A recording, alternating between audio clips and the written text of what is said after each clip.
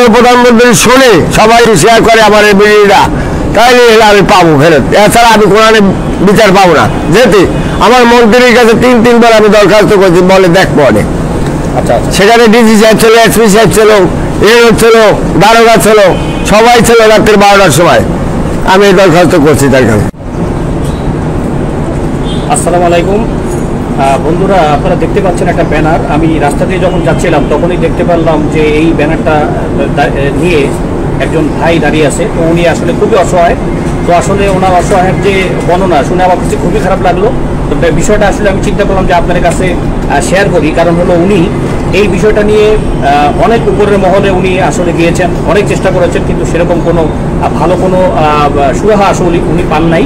তো একেবারে শেষে উনি আসলে মানবতা দরদি এবং আমাদের যে মাননীয় প্রধানমন্ত্রী যিনি মানবতার মা, ওনার শরণাপন্ন হয়েছেন। ওনার শরণাপন্ন ছাড়া উনি চিন্তা করছেন যে আসলে কোনো রকমের বড় কোনো কিছু সম্ভব না এবং তার সমস্যার সমাধান হবে না। তো আপনারা আসলে পারেন, এটা আসলে বেশি বেশি শেয়ার করে এই বিষয়টা আসলে মাননীয় প্রধানমন্ত্রীর দৃষ্টিগোচরে আনার জন্য। তো আসলে ব্যাপারটা কি হয়েছে, আমার সামনে যে ভাই আছেন ইদ্রিস ভাই, উনি আসলে ডিটেলস বলবেন যে আসলে তার সমস্যাটা কি এমন কি সমস্যা যেটা আসলে সমাধান হলো না। তো ইদ্রিস ভাই, আপনি কেমন আছেন? আমি ভালো আছি, আপনারা আলহামদুলিল্লাহ ভালো আছেন। কিন্তু আমার সমস্যা হয়েছে বিসমুল্লাহ রহমানের রাহিম। জয় বাংলা, জয় বঙ্গবন্ধু।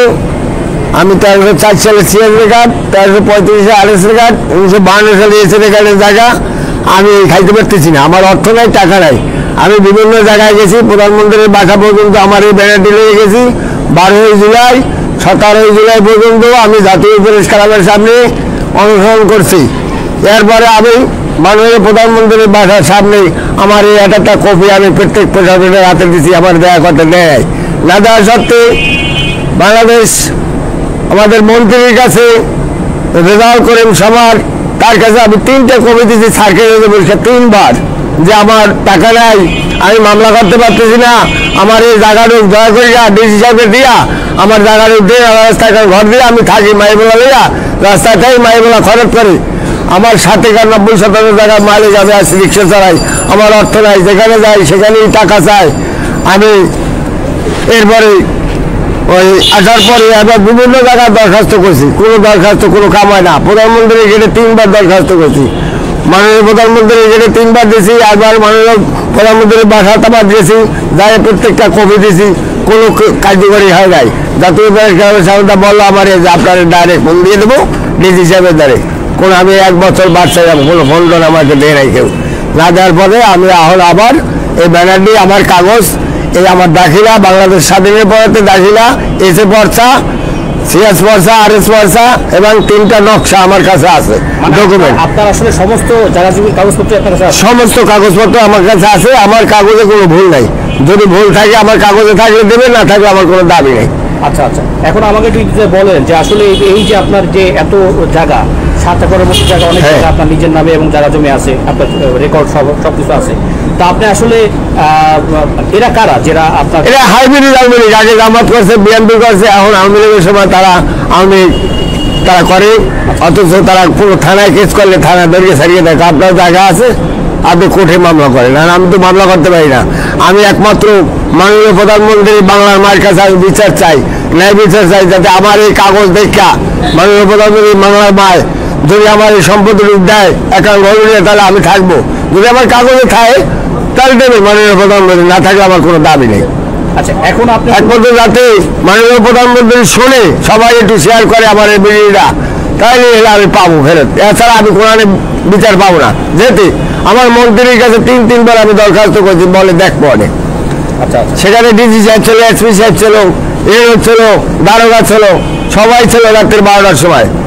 আমি এই দরখাস্ত করছি তার কাছে। মানে আপনি আপনার পাওনা অধিকার আদায়ের জন্য আসলে আহ, মহলে যেখানে যাওয়া লাগে মানবতার সমস্যায় গেছি দুর্নীতি কমিশনায় গেছি সেনাবাহিনী ক্যাম্পে গেছি বরিশাল আট বিভাগীয় কমিশনার ডিএসবির কাছে পেপার দিয়ে আসি ষোলোই জুলাই তারপরে বিভাগীয় ডিএসবির কাছে গেছি দেখা করতে পারি পেপার দিয়ে আসি রুমে।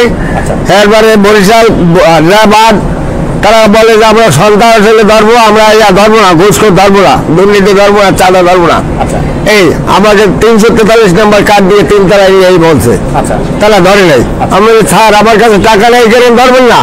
আমি অসহায় লোক একজন রিক্সার ড্রাইভার এখন বাবার যা খাইতে না রিক্সা চালাই এখন অটো চালাই এই তারা বলে যে আমরা এটা ধরবো না অন্য মামলা হলে আমরা ধরতাম। আচ্ছা এ, পা- পাশে ভাই ভাই কাছে যে ভাই এই যে ভাই যে কথাগুলি বলল এগুলি কি আপনারা জানেন আগে থেকে? আমরা জানি ভাই বহুদিন পর্যন্ত রিক্সা এখানে আসে উনি আমি উনিশশো মানে জানাইছি আমরা তো আর কিছু করতে পারি না ভাই। মারতেও চেয়েছে। ওনাকে অনেক অনেক হারানি করছে। আচ্ছা বন্ধুরা আপনারা বুঝতে পারলেন তার ন্যায্য দাবি আদায়ের জন্য উনি যে চেষ্টাগুলি করেছেন এর জন্য যাদের সাথে তার এই যারা এই ভূমি দখল করে রেখেছে তারা আসলে তাকে বারবারই বারবারই ভয়ভীতি প্রদর্শন এবং মারার জন্য অনেকবার চেষ্টা করে এবার আবার হুমকি দিয়েছে যে আমার মারি গেলাম জায়গার দাবি করলে। আচ্ছা আচ্ছা। বন্ধুরা আপনারা বুঝতে পারলেন যে একটা অসহায় মানুষ তার এত জায়গা সম্পত্তি থাকা সত্ত্বেও উনি এখন আমি এখন রাস্তায় খাই ফেরত করে। তার একেবারে সংসার অবস্থা বেগতিক এবং তার যে এই যে ন্যায্য পাওনা সেটা সে কিন্তু আসলে আদায় করতে পারছে না। তো একমাত্র বন্ধুরা আপনারাই পারেন আসলে বেশি বেশি শেয়ারের মাধ্যমে দেশ বিদেশ যেখানে আছে ভিডিওটি ভাইরাল করুন। তাহলেই অবশ্যই সরকার উদ্যোক্তন মহল এবং মাননীয় প্রধানমন্ত্রীর দৃষ্টিগোচর হবে। আর আমরা সবসময় জানি যে মাননীয় প্রধানমন্ত্রীর দৃষ্টিগোচরে যেটা হয়, সেটা অবশ্যই বাস্তবায়ন হয়। এর অবশ্যই অ্যাকশন হবে এবং এই ভাইয়ের যে পাওনা অধিকার সে আদায় করতে পারবে। আর সবচেয়ে বড় কথা হলো আপনারা যদি এটা করেন, তাহলে অবশ্যই আপনারাও কিন্তু সবের ভাগিদার হবেন। কারণ হলো, অসহায় একটি মানুষ, যেমনি আমি কিন্তু কোনো বিনা স্বার্থে আমি তার ভিডিও ধারণ করছি।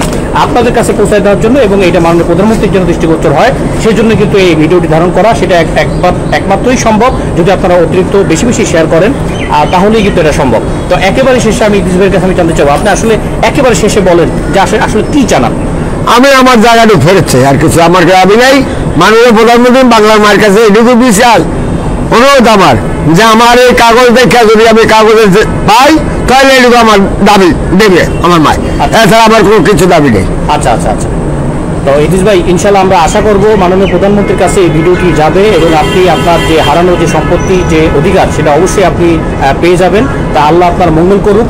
আর সবসময়ের জন্য ভালো থাকবেন ভাই, আপনি দুঃখ করেন না। আল্লাহ যদি চায় এবং আপনি যদি সলিড থাকেন, অবশ্যই আপনি এই আপনার যে হারানো অধিকার, সেটা ফিরে পাবেন। ভালো থাকেন, আসসালাম আলাইকুম।